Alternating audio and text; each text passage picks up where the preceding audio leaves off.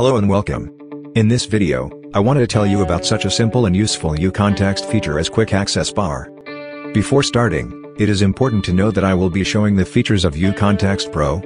In uContext Basic, the Quick Access Bar may have fewer features, but it will still be useful for everyone. Quick Access Bar is a bar of icons on the left side of scene view.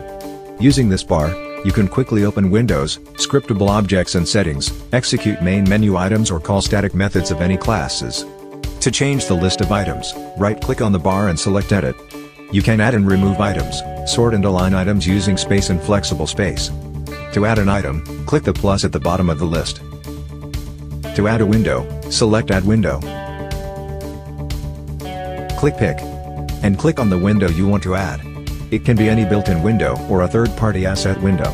Click on the button on the quick access bar to open the window. This window will not close automatically if you move the focus to another window. To close the window, click on any quick access bar item or the close button. If it is the same item then it will just close the window. If it is another item, it will close the window, and perform the action of that item. For example, this way you can quickly switch between windows as tabs. If you plan to work with the window for a long time, then you can convert it to a tab. In this case, the window will not be closed when other quick access bar items are called. You can add scriptable objects to the quick access bar, to quickly open them and change values.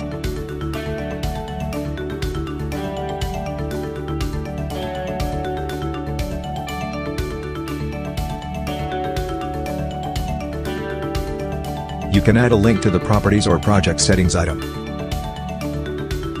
This is very useful when you constantly open a certain item of settings.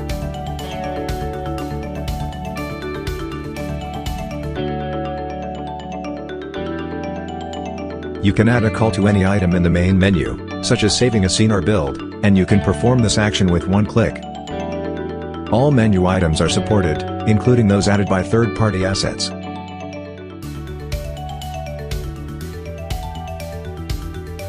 Finally, you can add a invoke of any static method without parameters. This gives you endless possibilities and you can add any custom action to the quick access bar that you need for your project.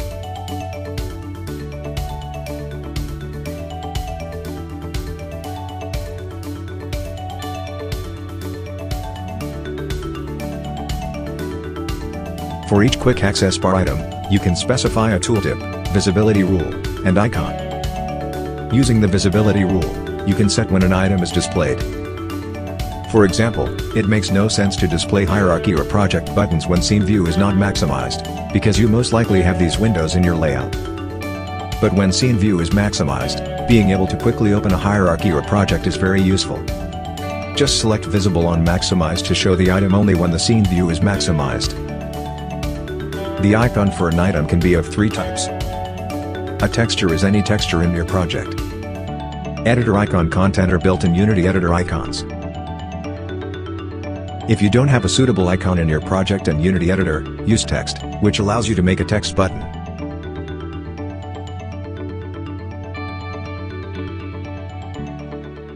If you are using ProGrid, then turn on compatibility mode in the quick access bar settings, and the bar will be indented at the top, and assets will not overlap.